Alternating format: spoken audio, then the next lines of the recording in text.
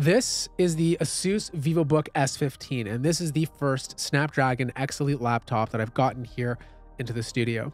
And this video is partnered with Asus, but I'm going to be comparing it to other laptops. I'm jumping right into performance, and the specs on this guy are really good. This is a Snapdragon X Elite paired with 16 gigabytes of RAM, LPDDR5X, very fast, 8448 megahertz, beautiful 2.8K display, and a 1 terabyte NVMe SSD. The big question I feel like a lot of you want answered right away is how is performance on battery? Because that's the one thing the MacBook has had over every single Windows laptop on the market. You get full performance on battery.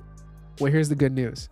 You almost get full performance on battery. Almost. And I mean, like, it's so negligible. It's crazy. Like, you're literally losing only 5% performance. Like I did a Cinebench R24 test and the scores were so close that you could literally say this is negligible, but you're losing a little bit, 5%. So you could literally take this on a plane without being plugged in and still get 95% of the performance, which is something you couldn't do before. Even Photoshop, which is graphically intensive, it uses the CPU, the GPU, the RAM, everything. Like Photoshop has been built for ARM. You're getting like 96% of the performance, which is insane. Now, the granted, you are going to get fan noise with a Snapdragon laptop that hasn't been removed. It's there, so get used to it. But it's not nearly as loud and audible as other Windows laptops. Like, don't get me wrong, like you're pushing this thing on full performance, it is going to get into the 50s, but it's a lot harder to do. There's more of a buildup. Obviously, if you're just doing everything like general everyday work, you're not going to hear the fans. But if you're pushing it, it can get a little bit louder. The one thing I noticed right away using this product is how fast it is to load a browser. It's so snappy. Like I can't even describe it to you. Like if you're using Microsoft Edge or Google Chrome, which are all recompiled for ARM, it's so snappy. Snappier than the fastest Intel laptop I have here. Faster than the fastest AMD laptop. Like that's the first thing you'll notice if you use this laptop. And the thing that I noticed right away is if you're using this on a daily basis, you're going to get good battery life, like really good battery life. 70 watt hours is the battery size in here. And I was able to easily take this over 12 hours before needing to charge. And that's the story behind this laptop. If it's been compiled for ARM, the experience is great. But the moment you move over to an x86 app, depending on how demanding it is, that's where things start to change.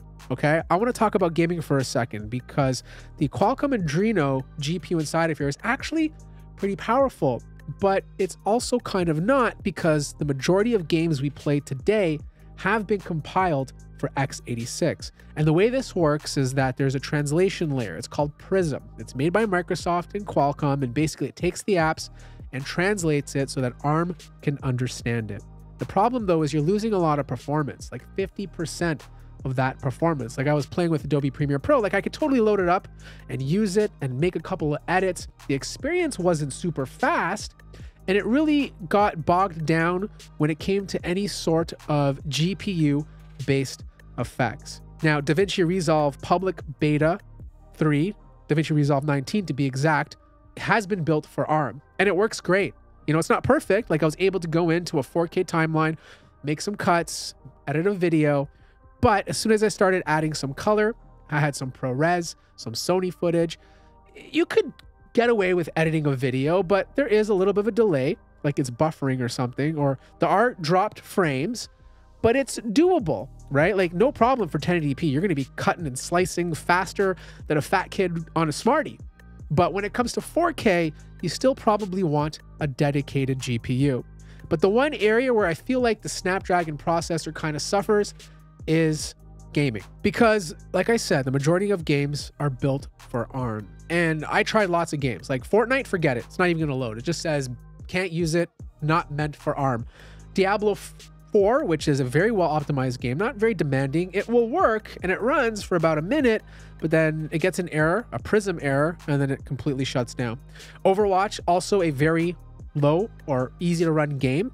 Works, but the maximum resolution is 1280 by 1080, which is not the best. You can only run it in windowed mode.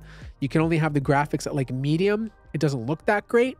And then when you actually play the game, there's a lot of drop frames because it feel feel like it's translating on the fly. And that's the thing. No matter what game you play on this, if it's been optimized for x86, you're going to take a performance hit.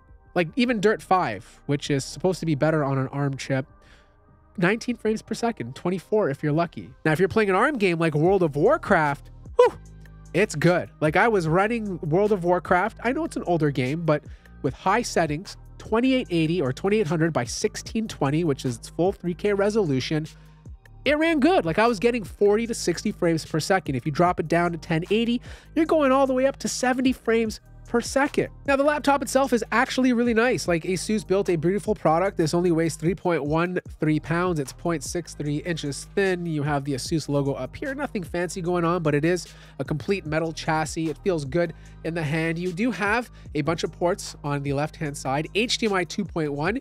You do have two USB 4.0 ports, a micro SD card, combo audio jack, and then on the right hand side, you have two USB A ports. The actual experience for typing is also really good. Like the display goes all the way flat like this. You know, like you can completely put this under a monitor, use the keyboard with the external display, which does work with this. You can easily connect a 4K display to this. It's not going to be an issue and type on it. Like typing feels good. It's nice and clicky. And you also get that full numeric keypad. You do have RGB lighting. It's only one color, and you can obviously change that in the Asus software settings. Sticker guys getting the business because it just used to be Intel, AMD, and NVIDIA. Now we got a new sticker on board. This is the Snapdragon X Elite sticker. You know how much money this guy is making? To onboard a new sticker is at least $50 billion. And look at that.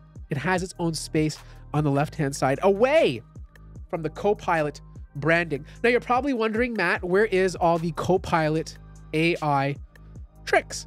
Well, I can't show you in this video because 12 hours after this video is released, Microsoft is pushing out a Copilot plus PC update with all the AI features, which I'll save for a future video. Now, Asus did put a beautiful OLED panel in this system. It's 120 hertz, it's 3K, it's 16 by 9, which I don't know how everybody feels about that, but if you like 16 by 9, you're going to like this panel, especially because it's very pixel dense.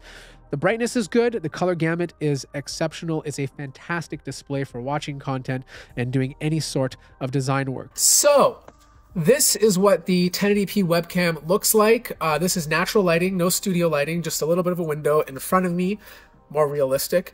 You guys let me know how it looks. More importantly, how do the microphones actually sound? Now, unfortunately, HWiNFO does not work on this computer, so I can't measure temperature. Same with MSI Afterburner because they are x86 apps. They just won't show anything.